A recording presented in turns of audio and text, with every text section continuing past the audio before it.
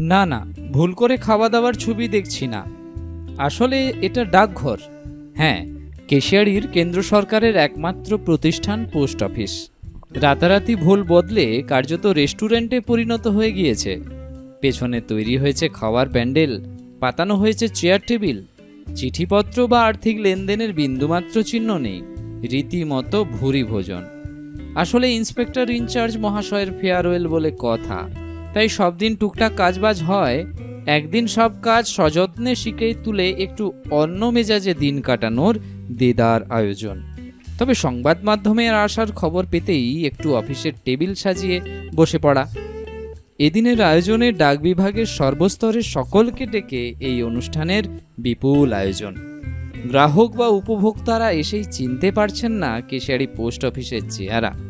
আসলে ইন্সপেক্টর ইনচার্জের ফেয়ারওয়েলে, পেটপুরে খানা এবং পিনায় সকলে মত্ত থাকলেও কয়েকজন উপভোক্তা কার্যত অসহায়, সব রকম লেনদেন বন্ধ করে দেওয়ায় তারা ক্ষিপ্ত হয়ে সংবাদ মাধ্যমে শরণাপন্ন হয়েছিলেন।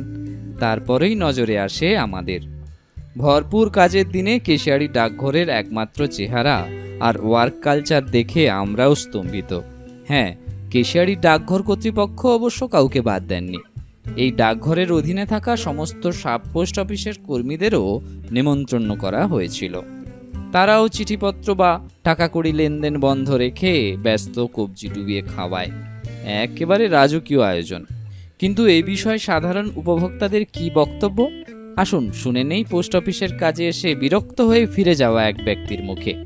এসেছিলাম পোস্ট অফিসের রেভিনিউ টিকিটের জন্য। দুদিন তিন দিন ধরে ঘুরছি, কোনো রেভিনিউ টিকিট পাচ্ছি না। বলছে থাকছে না। আর আজকে তো দেখছি এলাই খাবার দাবার ব্যবস্থা হয়েছে এখানে। কেন? ফেরল টেরল কিছু একটা ব্যাপার আছে।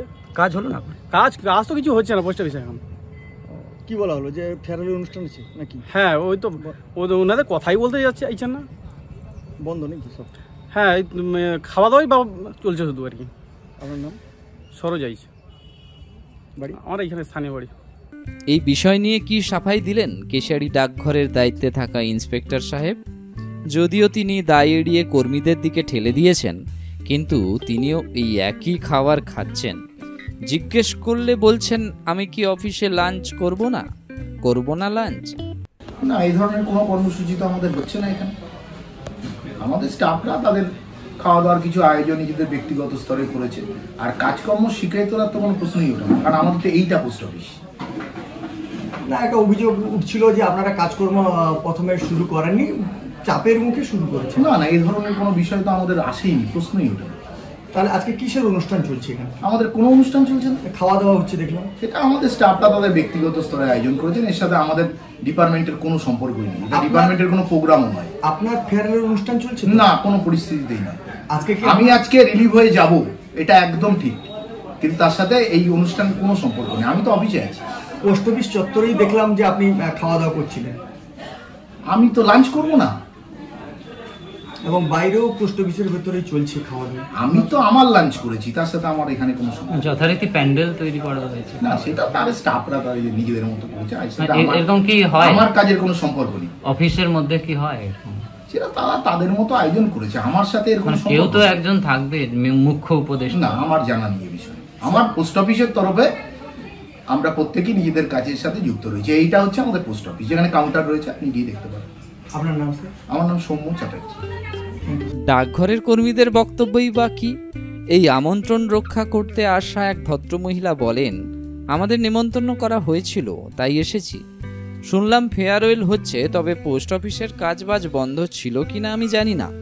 আমি তো দেরি করে এসেছি। পোস্ট অফিসের স্টাফ হ্যাঁ আমরা এজেন্ট। আচ্ছা। আমরা এজেন্ট। কি হচ্ছিল এখানে? এখানে আমাদেরকে খাওয়া দাওয়ার কথা বলেছিলেন সেই হিসাবে সবাই একসঙ্গে বসে খাওয়া হবে। কোথায়? কেশারি পোস্ট অফিসে।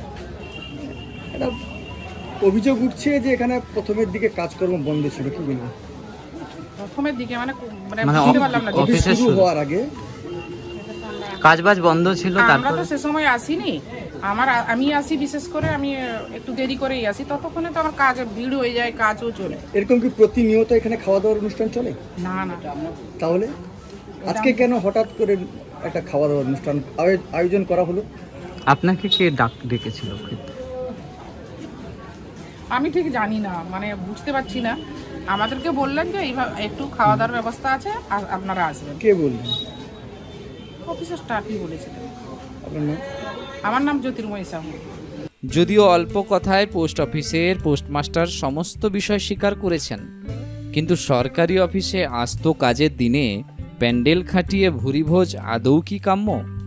এমনিতেই এই কেশিয়ারি পোস্ট অফিসের বিরুদ্ধে ওঠে নানান রকম অভিযোগ।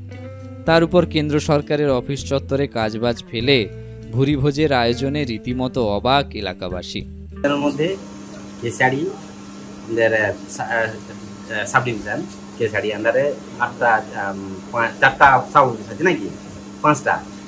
তো আজকে যে উনি যে সাব ডিভিশন পরিচালনা করতেন ওনার নাম হচ্ছে সৌম্য চ্যাটার্জি। ওনাকে আজকে আমরা বিদায় সম্বর্ধনা জানাব আর কি। যার জন্য আমাদের কেশারি সাব অফিসের আন্ডারে যে কুড়িখানা বিও আছে সমস্ত ব্রাঞ্চ অফিসের স্টাফকে ডাকা হয়েছে এখানে। আচ্ছা। যার জন্য ওনাকে বিদায় দেওয়ার উপলক্ষে আমরা এটা ছোট্ট একটা আয়োজন করেছি এরকম পোস্ট অফিস চত্বরে কি এরকম আয়োজন করতে পারেন? না পোস্ট অফিসের চত্বরে এটা নয় এটা আমাদের বাইরে আমরা করেছি। আপনারা দেখতে না, পারেন। বাইরে নয় তো ওটা পোস্ট অফিসের ক্যাম্পাসের ক্যাম্পাসের হয়তো আমরা উম, ঊর্ধ্বতন কর্তৃপক্ষকে এটা হয়তো জানাইনি হ্যাঁ কিন্তু আমার মনে হয় যেহেতু আমাদের স্যার প্রিয় স্যার চলে যাচ্ছেন আমরা হয়তো এটা করতেই পারি। সেই জন্য আমার মনে হয় এটা এতটা ইয়ে নয় আর কি যে একটা অভিযোগ উঠছে যে সকালের দিকে কয়েকজন গ্রাহক পরিষেবা, বঞ্চিত হয়েছেন পরিষেবা থেকে। এই ধরনের একটা অভিযোগ উঠছে, কি বলবেন?